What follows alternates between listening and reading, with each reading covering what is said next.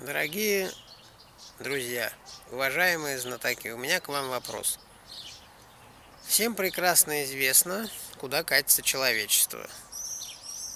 Ну, или, наверное, так скажем, половина точно населения понимает, что происходит, ну, не в мире, да, а вот конкретно вот с каждым человеком. Жизнь все тяжелее и тяжелее. Притом она не просто в силу форс-мажорных обстоятельств тяжелее, а она в силу поведения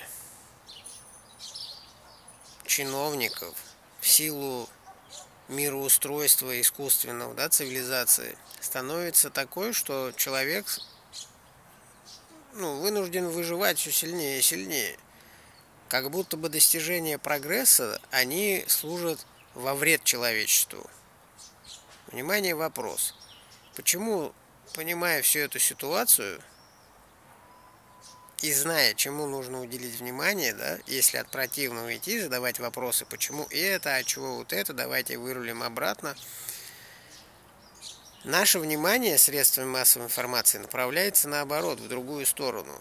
Вот посмотрите внимательно передачи, которые идут по телеку, и они опять ведут по лабиринту наше внимание – какие-то конфликты, какое-то дебильное это питание, людям рассказывают про то, какие молодцы врачи, ну и так далее. Да, вот обратите внимание.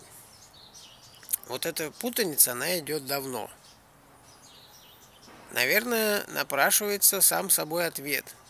Искусственно вводят за нос человека. А если вводят человека за нос, то это враги или друзья – вот вам вопрос, уважаемые знатоки.